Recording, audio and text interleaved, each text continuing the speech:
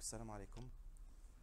Euh, on va donc on va en finir, je pense, avec, euh, les, les TD de radiologie. Euh, on va voir le dernier syndrome. Donc en fonction de, votre, de votre programme, on va entamer le syndrome interstitiel. Donc comme vous savez tous, la sémiologie radiologique est basée sur, euh, sur l'étude des syndromes radiologiques, hein, qui a été décrite initialement au niveau de la radiographie thoracique, parce qu'avant 1980, euh, pour explorer, pour explorer euh, les différents organes, ou là les différents membres hein, de l'être humain, on utilisait les rayons X, d'accord, pour la radiographie thoracique. Depuis les- les années 80, début des années 80, avec euh, l'introduction du scanner, qui est lui-même basé sur les rayons X, hein, mais dans, euh, dans, va dire, cette imagerie, elle est plus performante que la radiographie thoracique, notamment pour l'étude euh, des poumons, du thorax. hein. Euh, les, syndromes, euh, les syndromes radiologiques sont, euh, sont basés sur l'étude de, symptômes, à l'instar euh, la sémiologie clinique. hein. Euh, un nombre de signes radiologiques constitue un syndrome. Donc, on va voir aujourd'hui le syndrome interstitiel. Donc, d'abord, on va commencer par une petite, euh, petite introduction. L'interstitium, c'est quoi? C'est le support euh, anatomique, d'un point de vue anatomique, c'est le support un petit peu des vaisseaux et des branches au niveau du poumon. Donc, il est, si vous voulez, constitué par. euh, ما زلت ما زلت دايرة. دونك آه، كيف غنديرو ما نحيتيهاش ها ها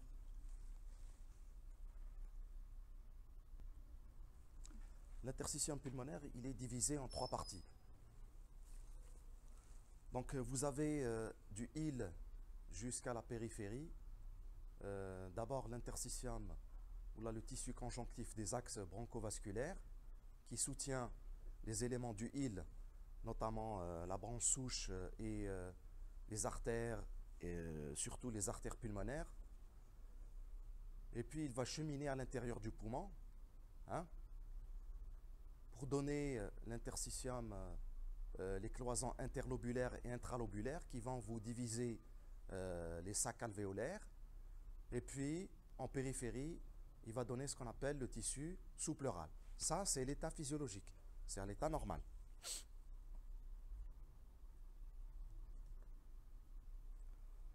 Donc, à l'état normal ou à l'état pathologique, ce tissu interstitiel va être infiltré, hein, soit par du liquide, dans le cas de l'œdème pulmonaire interstitiel, soit par des cellules, qu'elles soient inflammatoires ou néoplasiques, et enfin, il peut être euh, infiltré par de, la, par de la fibrose dans le cadre des euh, pathologies fibrosantes. Maintenant, vous avez une vue, euh, une vue de, de l'élément, de base anatomique et physiologique du poumon qui est la sinus pulmonaire. hein.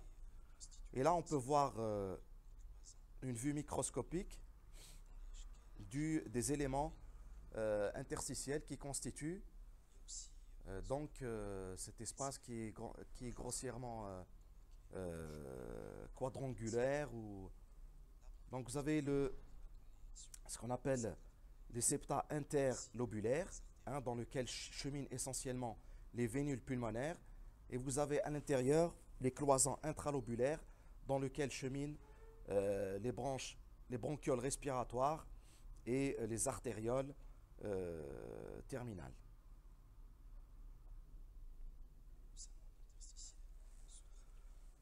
Donc pour étudier au mieux euh, le syndrome euh, interstitiel, qui a été initialement décrit à partir de la radiographie thoracique, sur laquelle on peut voir un certain nombre d'opacités ou de lésions.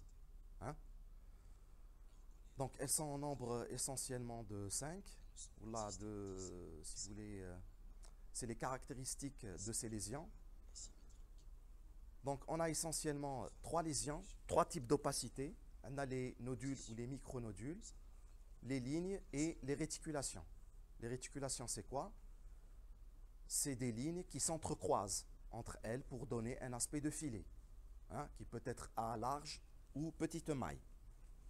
Donc, parmi les caractéristiques de ces lésions aussi, elles sont diffuses, elles ne sont pas systématisées à un lobe ou un segment, elles sont généralement euh, bilatérales et symétriques. Et enfin, concernant leur évolution, elle est lente dans le temps. C'est-à-dire que la disparition des lésions peut être euh, très lente, voire euh, indélébile, contrairement au syndrome alvéolaire. Hein. C'est-à-dire généralement, on oppose le syndrome interstitiel au syndrome alvéolaire. Maintenant, comme je vous ai dit en introduction, Narloul, qui, euh, quand on a voulu étudier un petit peu ces syndromes, euh, on les a décrits sur la radiographie thoracique. C'est pour qu'ils soient mieux didactiques. Qu'est-ce que ça veut dire didactique? C'est pour qu'ils soient, qu'on puisse les apprendre.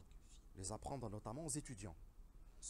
Et on s'est rendu compte avec le développement de l'imagerie, notamment avec l'apparition du scanner, que la radiographie thoracique, elle avait beaucoup de limites. Par exemple, comparée au scanner, elle est inadaptée pour le diagnostic et la surveillance des syndromes interstitiels, essentiellement pour deux raisons. D'abord, la radiographie thoracique, vous avez euh, une projection, le thorax, sur une radiographie en deux dimensions. Vous savez que le thorax, c'est un volume. Hein? D'accord Pour mieux l'étudier, il faut l'étudier sur plusieurs euh, dimensions. Sur le scanner, on peut l'étudier en trois dimensions. Par contre, sur la radiographie thoracique, vous avez une radio, hein. vous avez une image, une image sur, en deux dimensions. Hein. On peut faire un profil pour CD, hein, mais ça n'englobe pas euh, tout, euh, toute la vue ou tout le thorax. Donc, cet effet de sommation ne permet pas une analyse sémiologique fine de l'ensemble des opacités, notamment celles qu'on voit euh, lorsqu'on décrit le syndrome interstitiel. Deuxième raison, de nombreux jeunes médecins voient des syndromes interstitiels sur toutes les radios, car les vaisseaux pulmonaires à l'état normal donnent un aspect de nodules et de lignes. OK?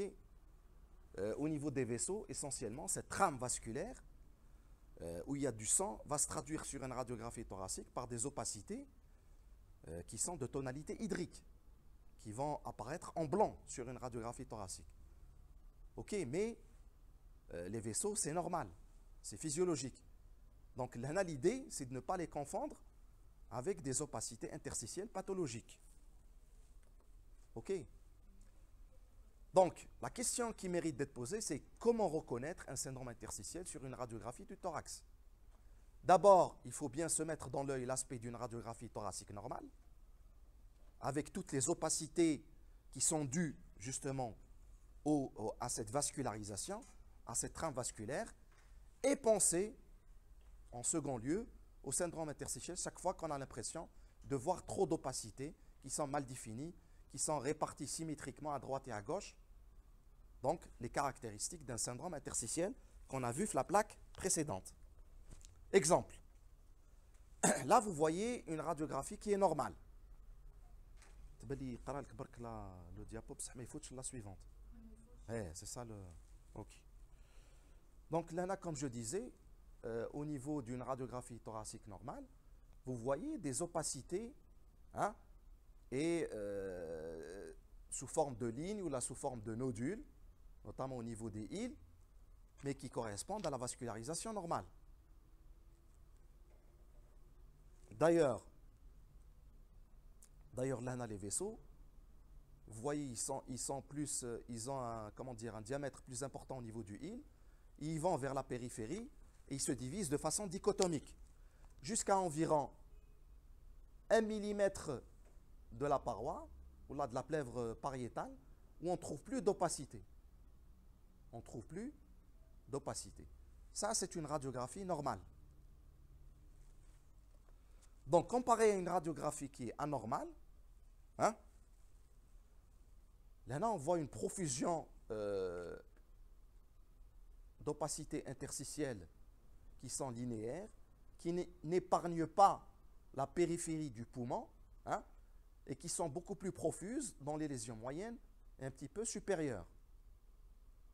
Donc là, vous voyez un syndrome interstitiel qui est réticulo-nodulaire, qui prédomine dans les champs supérieurs et moyens. Donc là, l'idée, c'est quoi? C'est qu'il il faudrait pour, pour, pour, pour tout médecin, hein, que ce soit un étudiant ou, là, ou là, un médecin qui a son diplôme, de se mettre en tête une radiographie normale. ok pour pouvoir la comparer dans son esprit avec une radiographie anormale, pour reconnaître les opacités interstitielles qui sont physiologiques des autres qui sont pathologiques. هكذا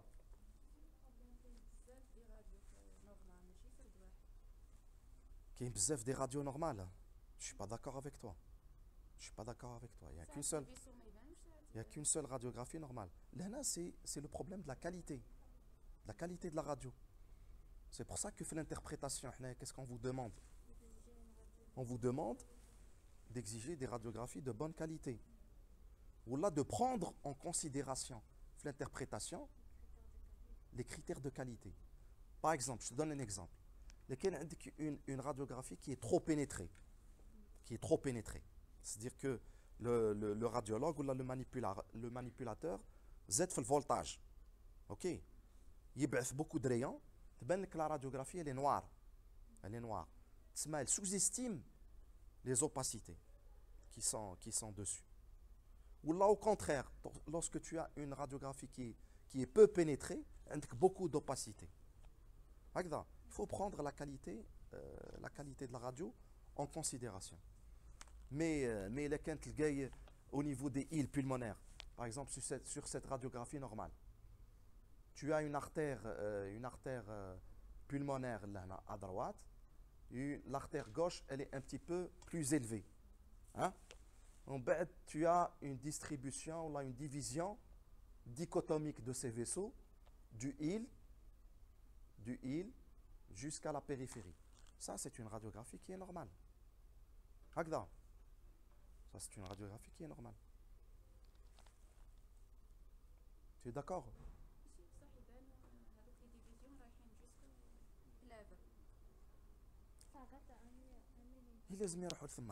Qui fait que tu vas vasculariser la plèvre hein? mais qui elles sont tellement petites que tu ne les vois pas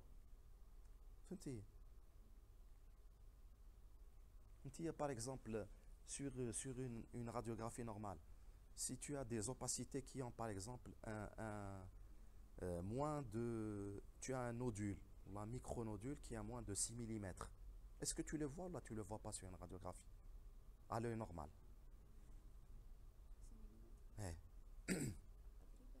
Mais bench, sur une radiographie, euh, un nodule, un nodule qui a moins de 6 mm, qui a moins de 6 mm, c'est un micronodule. Il est isolé au niveau de la radio.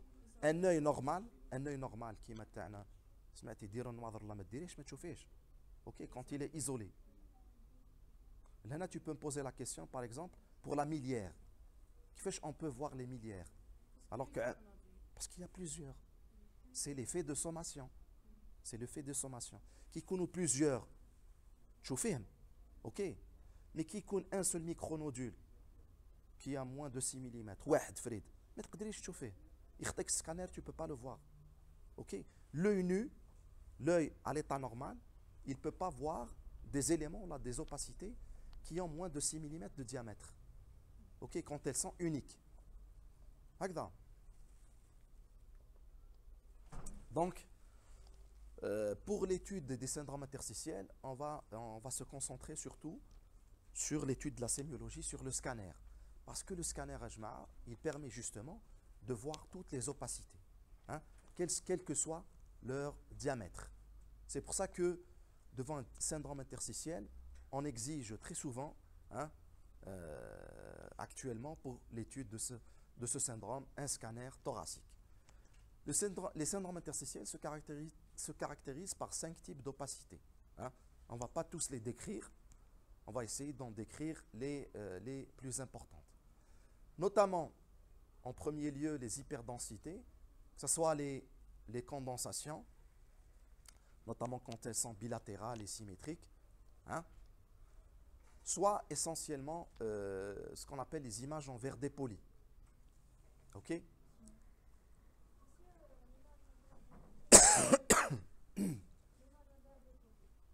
خلينا نوصلها النقطة هذه ومن بعد نهضروا عليها ها Ok, on va la décrire. En bas, tu vas poser des questions. En deuxième lieu, on a les nodules. Hein. Euh, sinon, vous avez des lignes et les réticulations. On a dit la nuance entre les deux.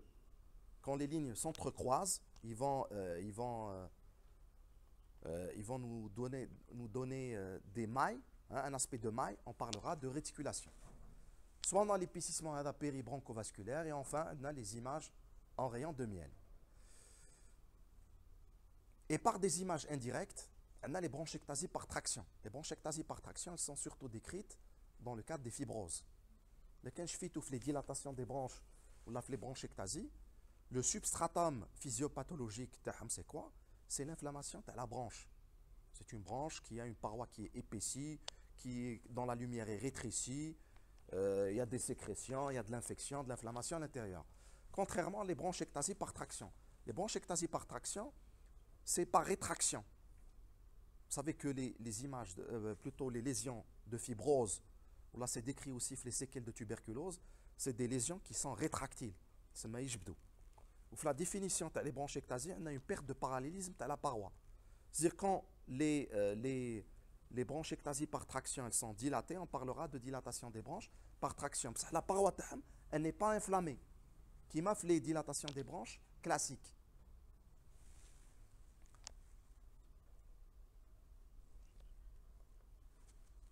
Bon, commençons par le commencement. Hein.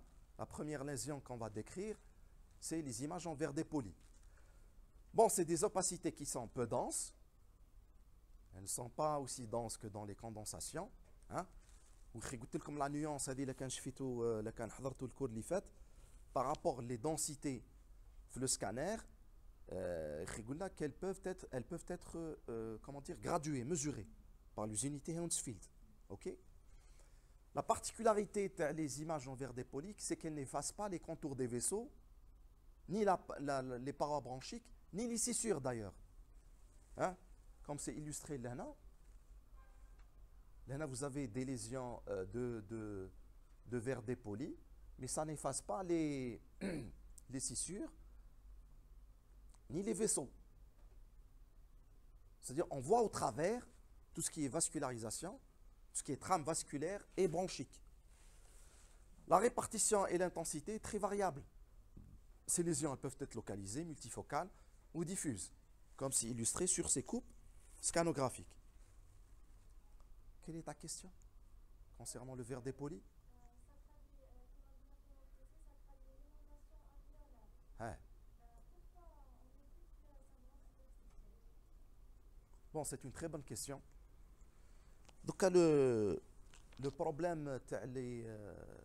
Le syndrome interstitiel, c'est qui m'a dit Bekri. Bekri, euh, la division en syndrome, elle concernait la radiographie thoracique. La radiographie thoracique, ne nous donne pas beaucoup de détails. Donc, une des limites de la, la distinction en syndrome alvéolaire, syndrome interstitiel, la limite c'est que Bekri ont divisé selon, euh, selon la partie qui a été touchée. Maintenant, l'étude par le scanner, elle a prouvé que même le syndrome interstitiel, qui est une des lésions de syndrome interstitiel, où il y a une participation alvéolaire. C'est-à-dire qu'il y a une, atteinte alvéolaire. Il y a toujours une. Il n'y a pas, a pas un, syndrome interstitiel qui est pur. Généralement, toujours, il y a une, il y a une participation alvéolaire. Mais pour simplifier les choses, pour simplifier, pour pouvoir étudier ces syndromes, hein, on se base sur cette distinction. Syndrome alvéolaire, syndrome interstitiel, syndrome bronchique. Par exemple, même le syndrome bronchique, on peut avoir euh, on peut avoir des opacités nodulaires le syndrome bronchique. Alors que ma crache les nodules le syndrome bronchique. C'est le scanner, c'est vraiment le scanner qui a permis une étude qui est fine, qui est beaucoup plus fine, beaucoup plus intéressante, hein, euh, les lésions.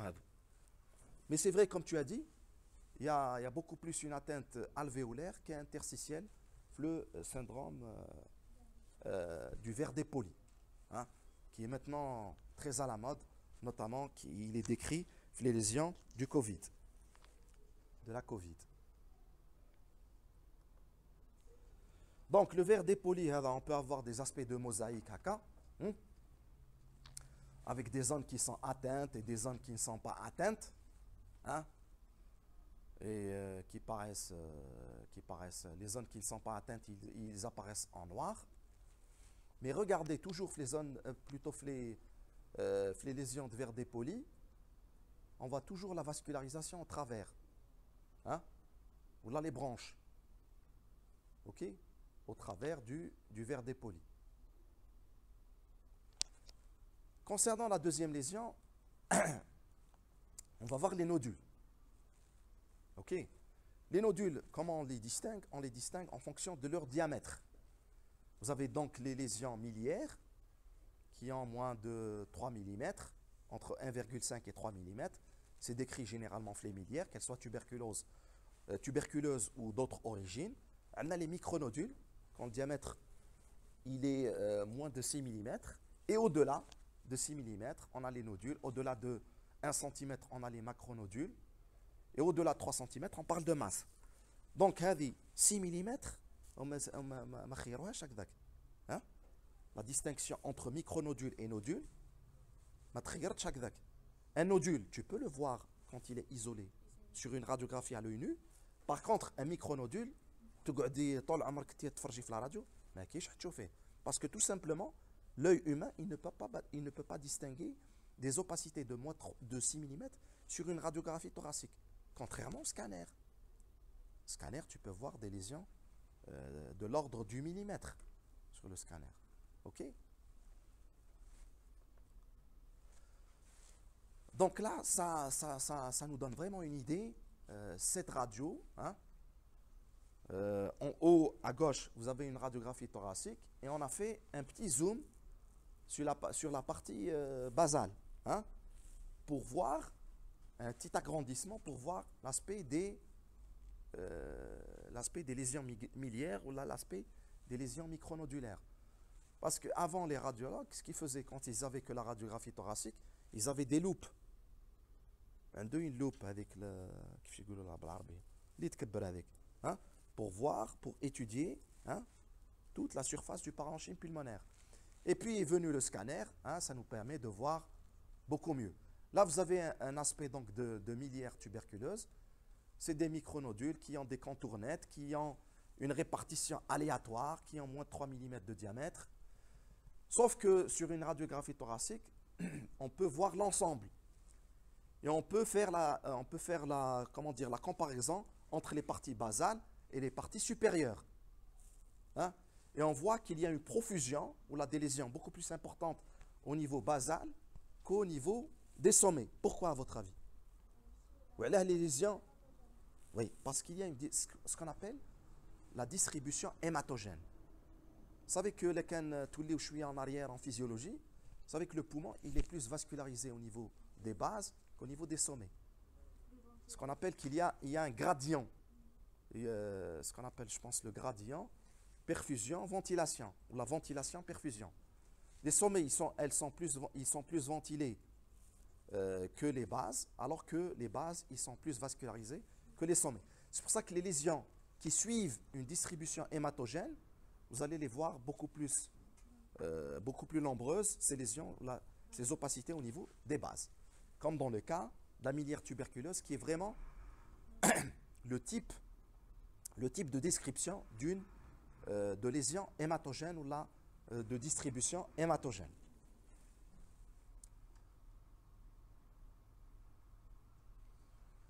Donc là, vous avez un exemple d'une radiographie thoracique avec, euh, peut-être que vous pourrez voir peut-être sur vos smartphones ou là sur votre ordinateur beaucoup mieux les radiographies thoraciques que sur la projection, le data show.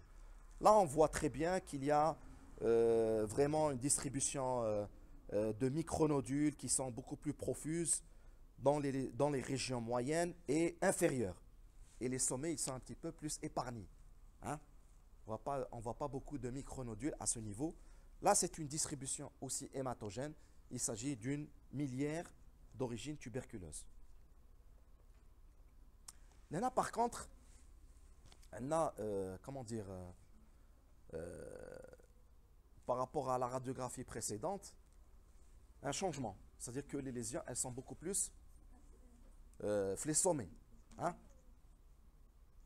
D'accord Et c'est des lésions qui sont, qui sont micronodulaires aussi. Là. Hein? Là, c'est quoi Qu'est-ce qu'on peut évoquer comme diagnostic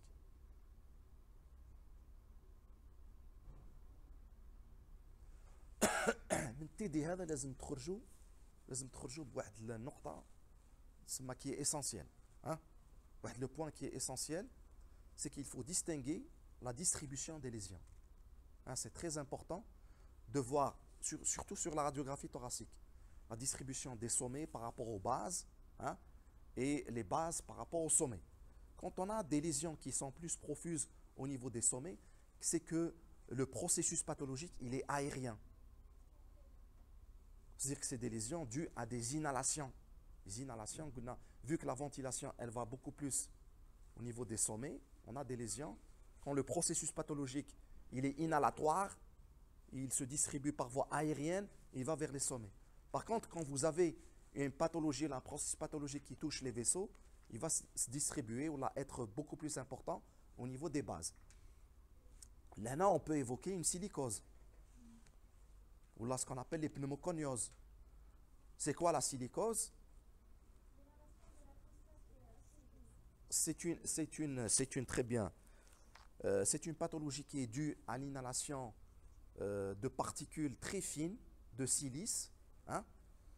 Euh, dans nos régions, c'est une pathologie, la silicose qui, qui, est très fréquente, notamment dans la région de Tkout, hein, où il y, a y a beaucoup d'artisans qui, qui, qui, font de la taille de pierre, hein, où la, la pierre avec les, les façades, les ornements, ornements de façade.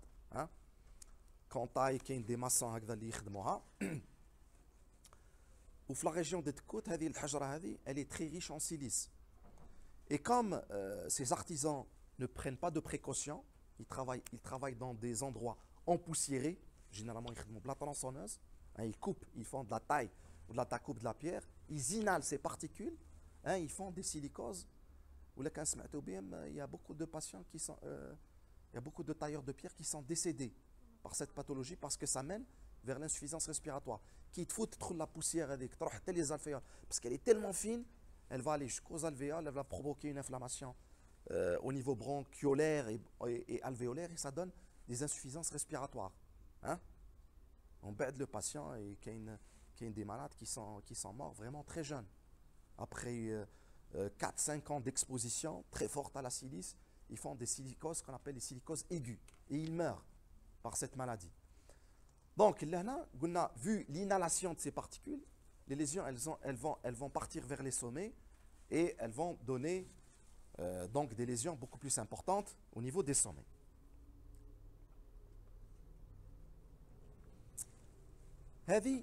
Euh, c'est une. Euh, là, vous avez, je pense,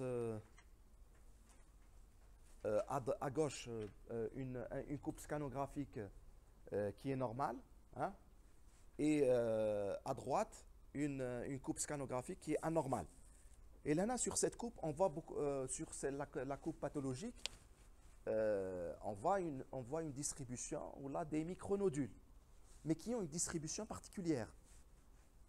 Ça, c'est un troisième type de distribution qu'on appelle la distribution lymphatique. C'est-à-dire, ça va suivre, ça va suivre beaucoup plus la vascularisation lymphatique. Parce que vous savez que au niveau du, parenchyme pulmonaire, on a beaucoup, de lymphatique, on a donc qui, sont drainés par des ganglions au niveau du île. Donc cette distribution, elle est surtout décrite euh, la sarcoïdose. Vous savez que la sarcoïdose, c'est une, c'est une pathologie systémique qui a plus un tropisme lymphatique, qui a plus un, tropisme lymphatique. Donc parmi les particularités de ces micronodules, ils peuvent être coalescents des fois, mais ils ont la particularité d'avoir une distribution, une sous-pleurale. Hein? Là, au niveau sous-pleural, on voit des micronodules, mais surtout aussi autour de la scissure. Et ce qu'on appelle les micronodules branchés, hein, ça donne un aspect de collier de perles au niveau de la scissure.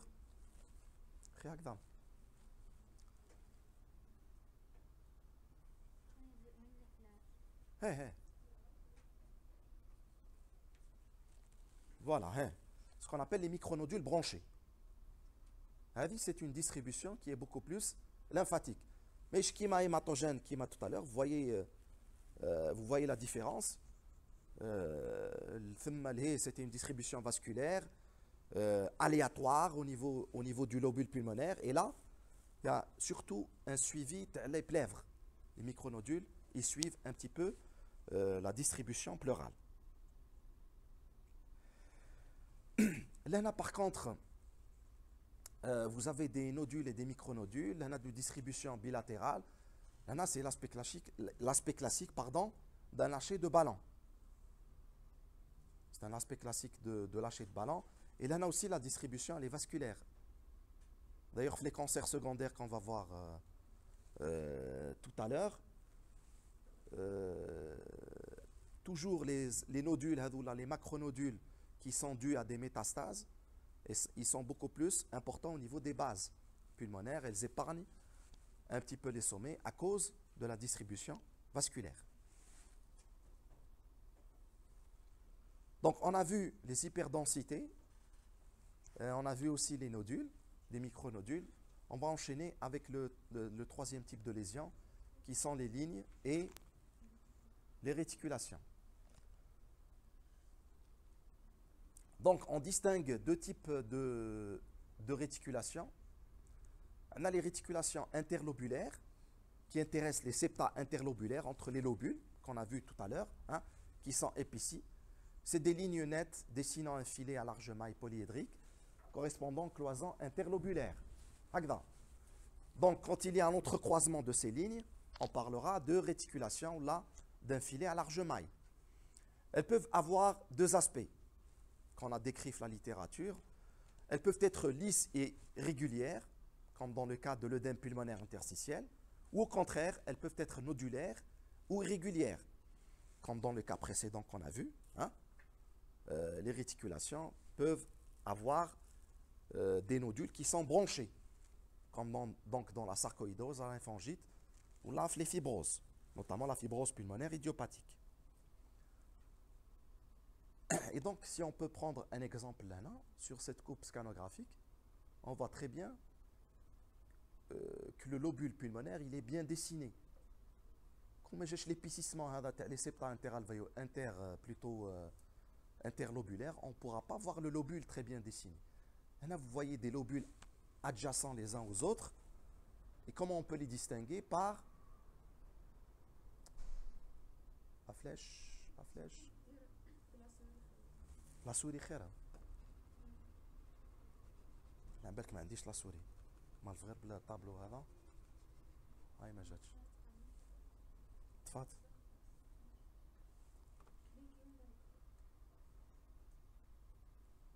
Très bien. Donc, le lobule, il est très bien dessiné. Hein? Et toujours, vous avez ce point au milieu du lobule, ça correspond euh, ça correspond à, ce qu'on appelle l'artère centrolobulaire. L'artère centrolobulaire. C'est tout ce que je voulais vous montrer. Il y a toujours le point au milieu du lobule, c'est l'artère centrolobulaire. Et donc, c'est mieux illustré sur ce schéma. Hein. Donc, vous avez l'aspect de filet à large maille, les réticulations qui correspondent à l'épicissement euh, des cloisons, la décepta interlobulaire. Et là, vous avez l'artère centrolobulaire au milieu. OK? Toujours le même aspect d'épicissement de septa interlobulaire. Vous avez euh, les, les, lobules qui sont très bien dessinés à cause de cet épicissement.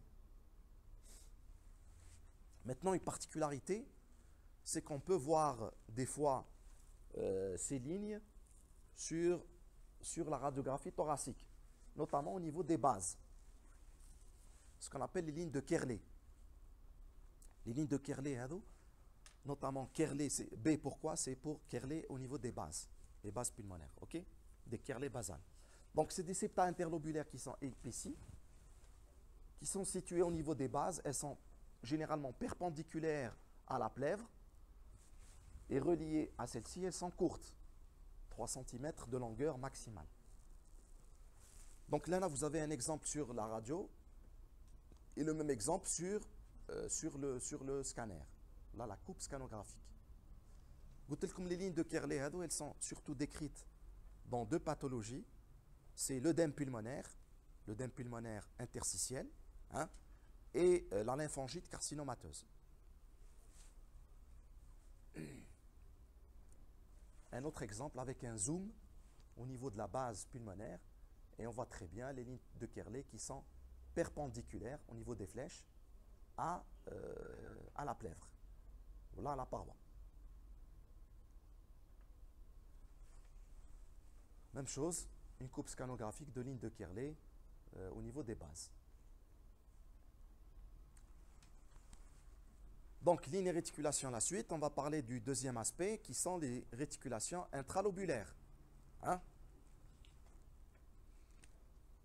Elles correspondent à un épaississement de l'interstitium intralobulaire. Et là, contrairement aux autres, elles vont nous donner un réseau à petite maille. Oui, entre les sacs alvéolaires. Entre les sacs alvéolaires. Là, contrairement donc aux réticulations euh, à large maille, là, a les réticulations intralobulaires à petite maille. Et on voit très bien que, euh, que les réticulations là, là, les mailles, elles sont beaucoup plus petites. Et on ne voit pas, in fine, on ne voit pas le, lobule pulmonaire qui est dessiné. On ne voit pas le lobule pulmonaire, mais l'épaississement, il est vraiment à l'intérieur du lobule. C'est pour ça qu'on a cet aspect. Et donc l'aspect précédent, il faut le, bien le différencier des images en rayon de miel. les images en rayon de miel, elles ont un aspect de kyste qui sont à parois épaisses. Là, ça correspond vraiment à une destruction du parenchyme pulmonaire, une destruction kystique.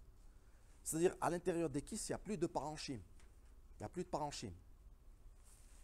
Parce que les étudiants, là, ils le confondent très souvent avec l'aspect de réticulation intralobulaire, qui je l'ai tout à l'heure. Alors que là, euh, à l'intérieur des kystes, il y a une destruction, il n'y a pas de parenchyme pulmonaire, il n'y a pas d'échange alvéolo-capillaire. C'est l'aspect vraiment de rayon de miel qu'on retrouve les fibroses, notamment la fibrose pulmonaire euh, idiopathique. Donc, c'est des espaces kystiques qui sont aériques, qui sont pleins d'air, qui sont limités par des parois qui sont épaisses, faites d'un tissu dense et fibreux. Ils sont jointifs et disposés en couches, surtout au niveau sous-pleural et dans les régions basales. C'est-à-dire qu'il y, a une, couche, deux, trois couches de,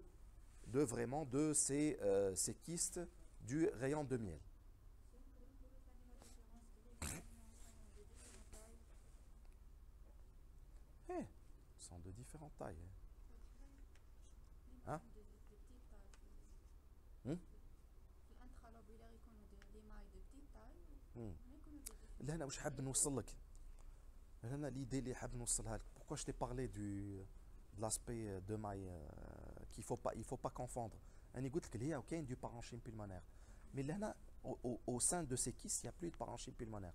Faites dire la distinction entre les deux. Il ne faut pas confondre entre les deux. Parce que c'est un type de lésion et l'autre c'est un type de lésion. Ok?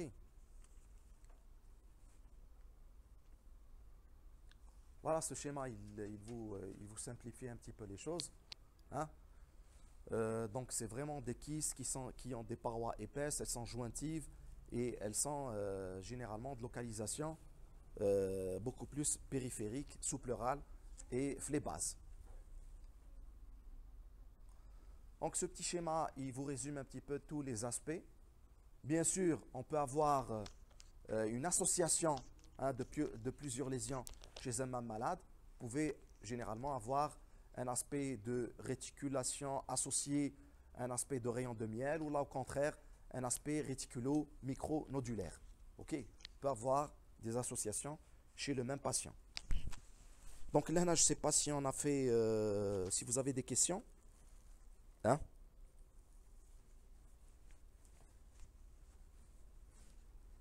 Sinon, on va enchaîner avec le, le deuxième cours, qui est un cours très, euh, très succinct. Hein ما يقدروش يخليوه الغدوة ما يقدروش يخليوه الغدوة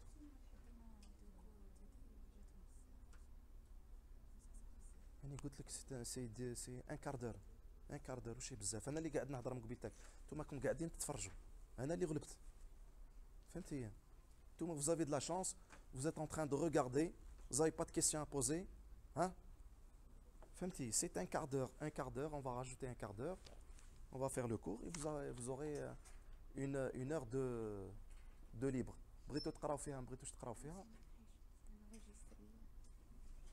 هذيك حاجتكم